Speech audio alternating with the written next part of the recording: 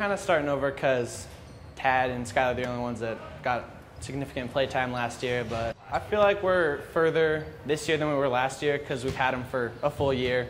And last year we were brand new to him. We had Coach Wilsey our freshman year, and he moved up with us pretty much, so we know what he expects and we know what we got to do. So everything's gone a lot smoother this year. We're bringing in new offenses since we have a total different, uh, total uh, different people coming in. So we have to like make new plays and just work to our strengths. We got new motion spots. We're going to try to get shots to our shooters. We're going to get a lot of penetration and shots. So that's that's our game plan and force a lot of turnovers and get layups, just fast break. We're definitely going to shoot the ball, and uh, we got speed.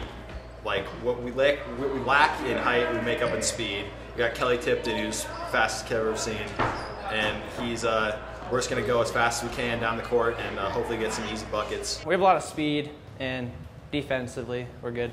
We're going to be playing a lot of full court and trying to make them like get some turnovers for us. Our team chemistry is so good that just because we've been together, and I mean knowing what coach wants, uh, playing good D, and just winning games. That's all we got to do. We're not very big, so that's kind of a problem. But we're going to come out with like strong, like presence in the key, and we have good shooters, and we're just going to come out really strong and win some games.